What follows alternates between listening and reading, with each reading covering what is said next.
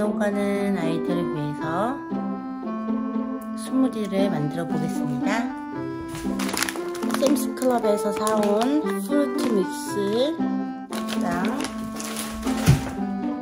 우유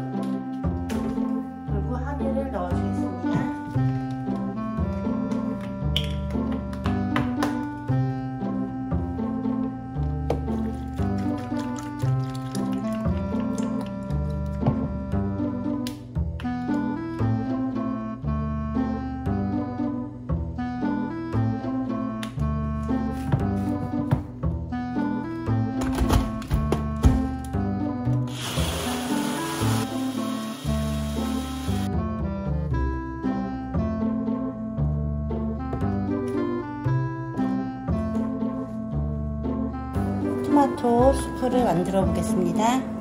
이거는 홀푸드에서 사온 올게닉 토마토 크림숲입니다.